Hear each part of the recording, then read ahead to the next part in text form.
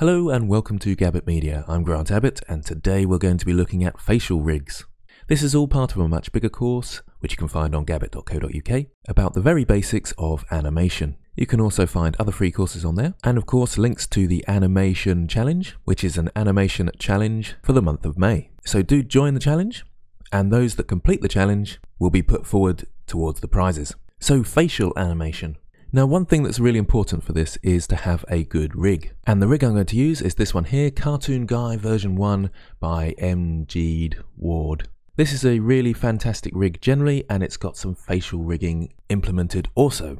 So let's go across to Blender. And it's quite easy, you just download the blend file, which I've got just here, and you can drag it into 2.8 and press open. And it opens up, and the rig is all ready. If I zoom out a bit, you can see that the rig's already there and we're actually in pose mode. I'll zoom into there again. I'll just start my shortcut keys, which will be down in the corner here. So what we've got, we've got a video sequence editor at the top here. That's important for bringing in our sound. I've got the timeline at the bottom and the action editor. I won't really talk about the action editor much. I'm just going to change this to the dope sheet because I don't want to really confuse things. But the action editor, you can actually store actions that you make in the dope sheet. One more thing that I think would be useful is to just bring out a screen across here as well. So I'll pull this across and zoom into this one here onto his face. And over here, I will zoom in to the controls. I'll press T and N to get rid of the toolbars because I don't think I'll need them. And in fact, I think it'll be even better if I pull out another screen so I can see him from the side view as well.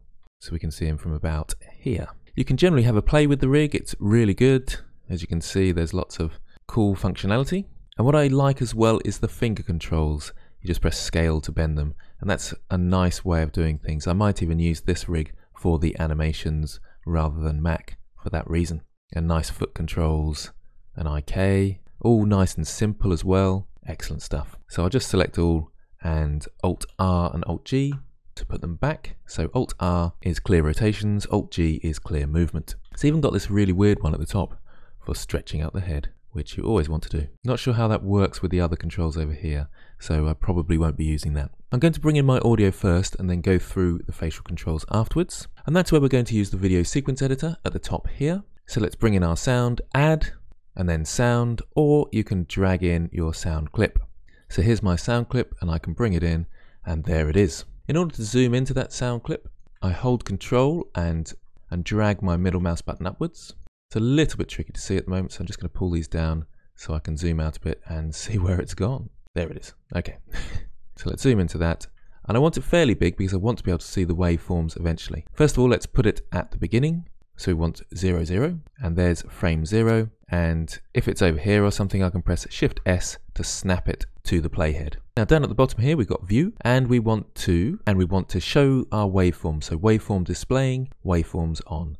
And now we can see our waveforms. Now I can right click to move my playhead into position, press spacebar, and it's only playing the first bit. And that of course is where my timeline is set up. And it's only set up between frame 1 and 15. That's why it's quite handy to have the timeline open. So we've got 1 and 15 here. I can change this. So if I move my playhead into position, I'm at frame 35. So let's start at 35. And it finishes about there. So that's frame 76. So we'll finish at frame 76. Now when I press spacebar, Hello and welcome to Gabbitt Media. Hello and welcome we can to hear Gabbitt our sound. Media. There's two more settings we need to sort out before we can move on. At the moment, when I drag across the timeline with right click, no sound comes out. So we need to click on this playback option, which is in the timeline, and we need to go to audio scrubbing and make sure that's ticked. And then where it says no sync, change that to AV sync. That will make sure that it is definitely synced.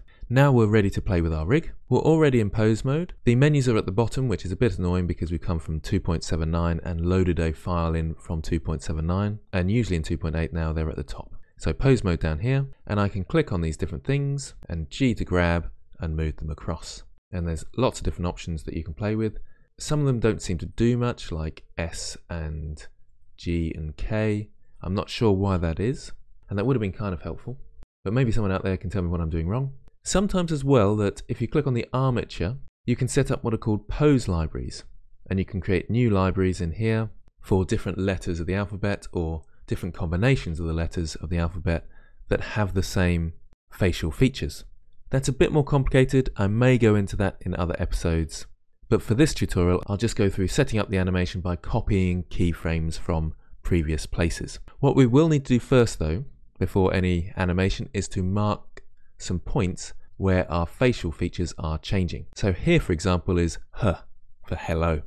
If I press M for marker, and this is all in the video sequence editor, it does add markers down here on the dope sheet as well. I can also click on that marker and click and drag to move it if I need to, and I can press Control M to rename the marker. And I'm going to type in HE for H. If it was a ha, then it would be HA, which are different facial features. So I tend to type in the second letter as well, so it's clear. Let's scrub along a bit. The other point that's worth making is that I tend to go two frames across rather than having things one frame close to each other. That can be a bit jarring if there's any big changes, and generally mouths don't quite move like that. So the next one will be the low. Oh, and oh, and well, oh, and well, oh, and oh, and And what you saw me doing there was I press spacebar and keep right clicking in the same position welcome to and and to make sure that I've got the low point, as in the right point in this case, which is low. So her and l are very similar facial positions. The only thing that would change is the tongue. This rig doesn't have any tongue controls, so there's actually no point in doing the l section. But there's kind of a keyframe point there because I want the her to stay the same from there to there. So I'm going to put a marker in there anyway. Let's just double check I've got the right point.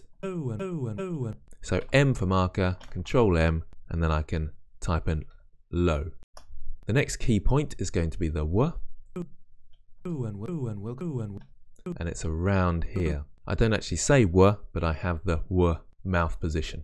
The important thing to do as well is to actually say these things out loud in front of your computer so you can feel where your facial muscles and position is, and you might want a mirror in front of you so you can see what you're doing. So M again, Control M, and W.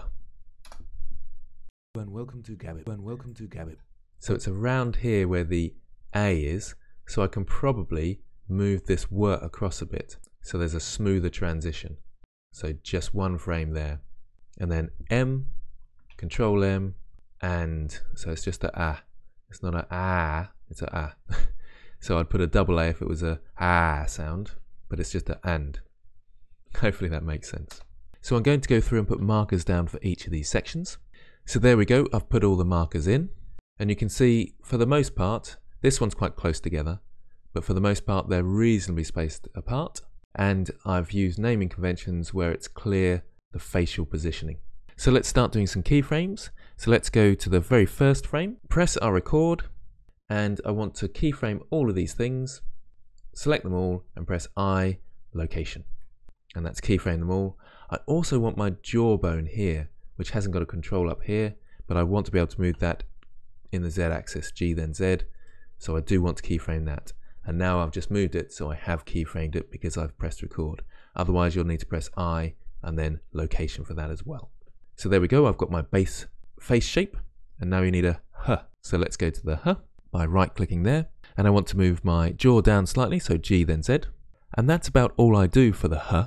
So let's go across to the low. So H and L are almost the same, but for the tongue, and we can't animate it in this case, so I'm just going to copy that keyframe across. Shift D and bring it across.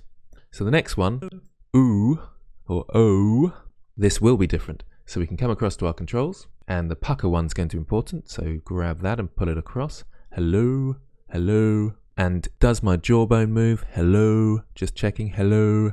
And I'm noticing it moves very slightly on the low. It goes really slightly wider, so I'm going to grab that in the Z axis.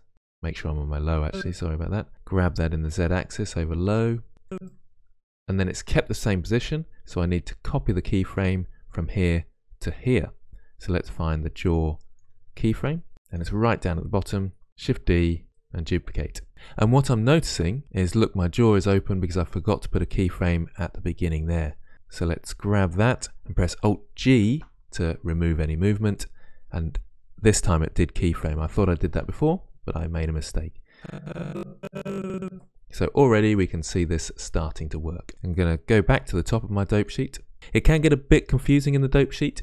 If you want to remove some of that confusion, sometimes it's easier on each keyframe, rather than having record pressed, just selecting all with A and then pressing I to insert keyframe. That way you know you're going to select for each channel you're going to have a keyframe. But can you see on some of my channels I've got a keyframe on low and others I haven't. So the pucker slowly happens over time. And that's not actually what I wanted. So you can see the pucker scale here. So if I drag along, it slowly moves up to that point. And that doesn't really make sense because the h and the l don't have any pucker in them. So actually I need this, Shift D, to be copied to here so it doesn't pucker until that point.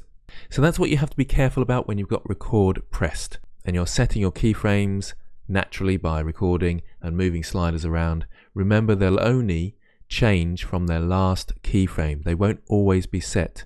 So if I'm moving across and moving different sliders one time and then moving across a bit, moving other sliders the other time, those first set of sliders won't be keyframed the second time through. Hopefully that makes sense and you have to put in your keyframes each time. Like I say, the easiest way to do this is to select all, and the jawbone in this case, and I to insert keyframe when you're happy. The only problem with that is it creates lots of keyframes, so it can get a bit confusing. That's the only reason you wouldn't want to do that. Okay, so I'm going to press I and select a keyframe in here for the location, and you can see now it's on all the channels. So let's go back to the top, and let's go to our W. So right click on our W, so that's a W, so hello. So the O slowly goes into the W. So actually, I think it's worth copying this keyframe, Shift D, hello, and it goes with my long hello that I tend to do at the beginning of my videos. There's a long bit of low.